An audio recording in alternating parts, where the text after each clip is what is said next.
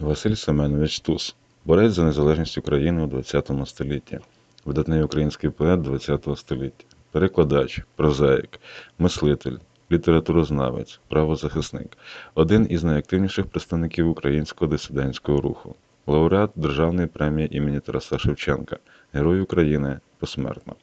За власні переконання щодо необхідності збереження і розвитку української культури зазнав репресій з боку радянської влади. Його творчість була заборонена, а він сам був засуджений до тривалого перебування в місцях позбавлення волі, де й загинув. У вересні 1965 року, під час прем'єри фільму Сергія Параджанова Тіні забутих предків у кінотеатрі Україна в Києві взяв участь в акції протесту. Стус разом з Іваном Дзюбою, В'ячеславом Чорноволом, Юрієм Бадзьо закликав партійних керівників і населення столиці засудити арешти української інтелігенції, що стало першим громадським політичним протестом на масові політичні репресії в Радянському Союзі у післявоєнний час. За участь у цій акції його відраховано з аспірантури.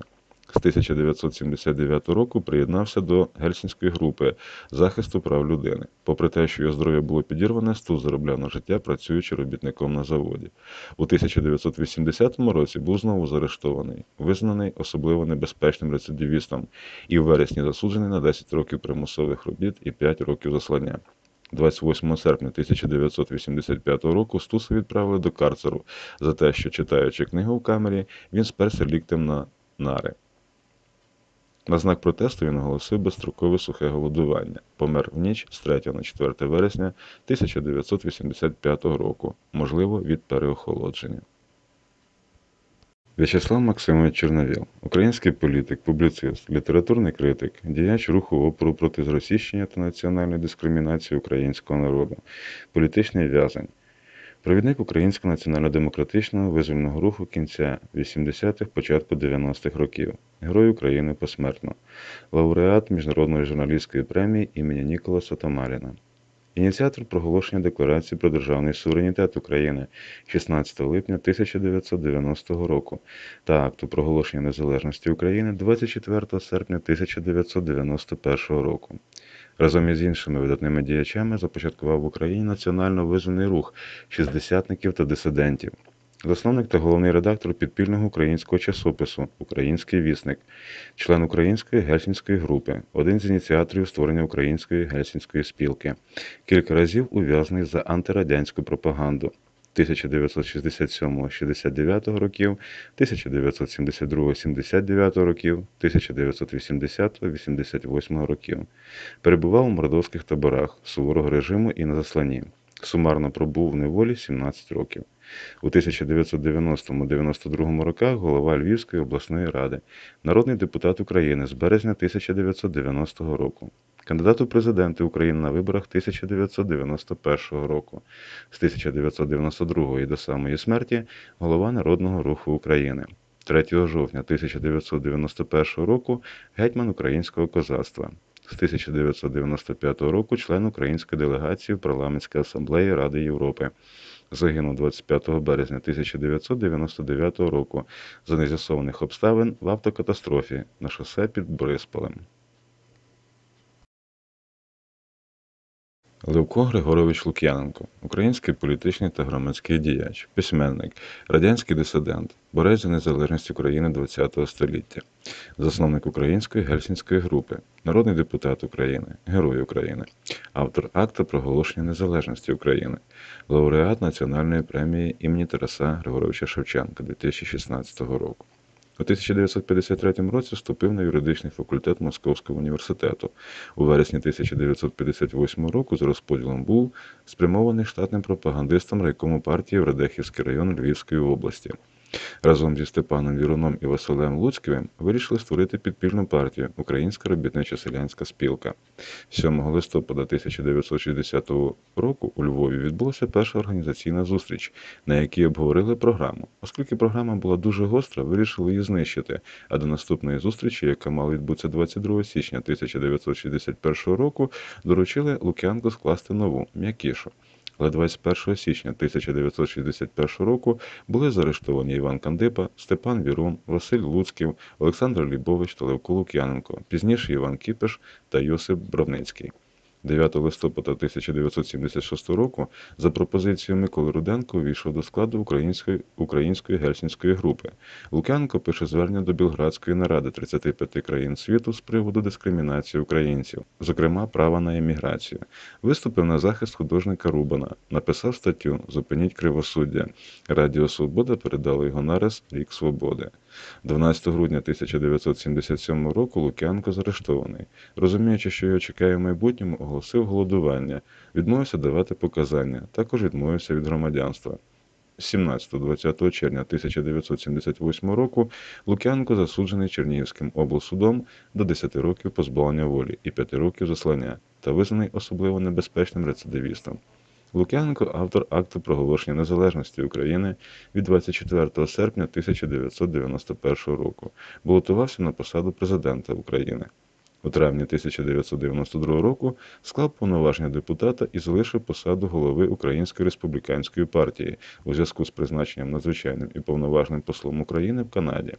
У листопаді 1993 року через незгоду з політикою уряду України подав відставку і повернувся в Україну. 16 квітня 2013 року ухвалив рішення піти у відставку з посади голови Української республіканської партії, залишившись її почесним головою. Згодом вийшов з партії.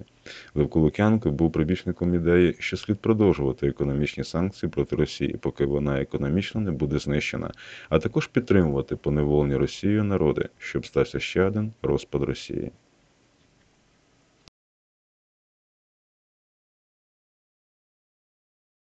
Микола Руденко, український письменник, автор науково-фантастичних філософських та поетичних творів, філософ, громадський діяч, засновник української гельсінської групи, Герой України, учасник радянсько-німецької війни, під час якої був важко поранений. Після виходу збірки віршів з походу 1947 року прийнятий до спілки письменників України. Працював відповідальним секретарем видавництва Радянський письменник, редактором журналу Дніпро, секретарем спілки письменників України. У 1949 року під час сталінської кампанії проти космополітів відмовився негативно характеризувати єврейських письменників, яких вимагали виключити із спілки письменників України. У 70-ті роки активно залучався до захисту прав людини, в тому числі національних, підтримує стосунки з московськими дисидентами, член радянського відділення міжнародної амністії. 1974 року виключений із складу КПРС за критику марксизму та правозахисну діяльність, виключений із спілки письменників України. 1975 року заарештований за антирадянську пропаганду, але з нагоди 30-ї річниці перемоги в німецько-радянській війні амністований як учасник війни. Був одним із трьох першозасновників і першим головою української гельсінської групи. Після консультацій з Петром Григоренком, Левком Лук'яненком, Іваном Кандибою та Олексою Тихим 9 листопада 1976 року Микола Руденко провів на квартирі академіка Сахарова в Москві прес-конференцію для іноземних журналістів, де оголосив про створення української гельсінської групи. 5 лютого 1977 року заарештований у Києві і етапований до Донецька, де було порушено справу проти нього і Олекса Тихого. Суд відбувся 23 червня 1977 року. Руденка засудили до 7 років таборів і суворого режиму і 5 років заслання за так звану антирадянську агітацію і пропаганду.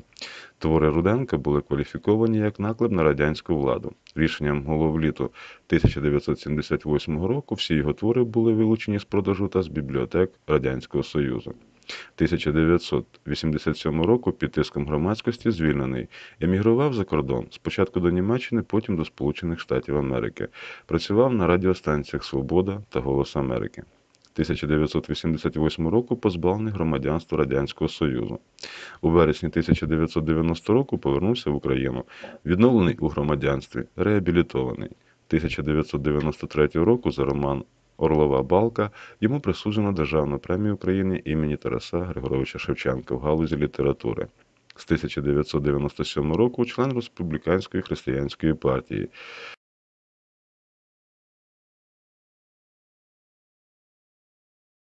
Петро Григоренко, радянський генерал-майор, українець, правозахисник, виступав на захист кримських татар та інших депортованих народів. У 1964 році за легальну правозахисну діяльність розжалуваний у рядовій, позбавлений усіх державних відзнак. Перебував у радянських тюрмах, таборах і психушках. З 1977 року проживав у Сполучених Штатах Америки. Помер у Нью-Йорку, спочиває на українському цвинтарі Саут-Баунд-Бруці в штаті Нью-Джерсі. Навчався в Харківському технологічному інституті Московської військової технічної академії 1931-34 років, Академії Генерального штабу 1937-39 років, служив у Червоній армії на Далекому Сході. В 1942-1945 роках командував дивізією, учасник боїв на річці Халхінгол, брав участь у радянсько-німецькій війні 1941-45 років. У 1945-61 роках викладач військової академії імені Фрунзе, генерал-майор. У 1961 році виступив із критикою сталінізму та політики Хрущова. 1963 року створив спілку боротьби за відродження ленінізму, за що у 1964 року був позбавлений звання нагород та пенсії. У 1964, 1965, 1969 та 1974 роках зазнав переслідувань, перебував на примусовому психіатричному лікуванні, неодноразово заарештовувався, був позбавлений роботи. Незалежна психіатрична експертиза, яку провів Семен Гузман, не дозволила подальше утримання в психіатричній установі. У травні 1976 року став членом засновником Московської гельсінської групи за дотримання прав людини. Через свого близького товариша Миколу Руденка сприяв утворенню 9 листопада 1976 року у Києві Української гельсінської групи. Першою постаттю у дисидентському Росії середини 70-х років у Москві був академік, автор водневої бомби Аркадій Сахаров. Влада не наважилася його заарештувати, тому з метою ізоляції його у 1973 році вивезли до Москви з Москви до Нижнього Новгорода. Там він перебував під наглядом КДБ. У цей час Григоренко стає центром дисидентства Радянського Союзу, координатором діяльності української та московської гельсінської груп. Оскільки радянська влада не була зацікавлена у виконанні найгуманітарної частини заключного акту Гельсінської наради, розпочалися репресії стосовно членів гельсінських груп. Григоренка у листопаді 1977 році спровадили за кордон, нібито на операцію, а потім позбавили громадянства і заборонили повертатися до СРСР. Помер Петро Григорович на вигнанні у Сполучених Штатах Америки у 1987 року, не доживши 4 роки до проголошення України незалежною державою.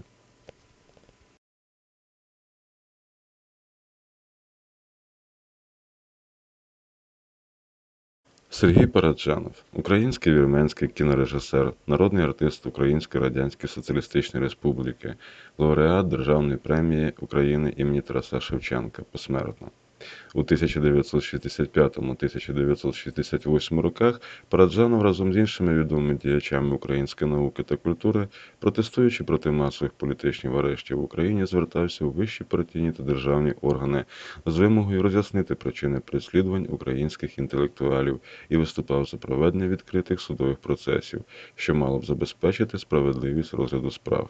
Неодноразово висловлювався за дотримання свободи слова у пресі. 30 червня 1966 року Центральний комітет Компартії України схвалив постанову про серйозні недоліки в організації виробництва кінофільмів на Київській кіностудії імені Доженка, в якій піддавалися критиці кінострічки Криниця для спраглих, автор сценарія Іван Драч, Звірте свої годинники, сценарій Ліни Костенко, Київські фрески, сценарій Сергія Параджанова.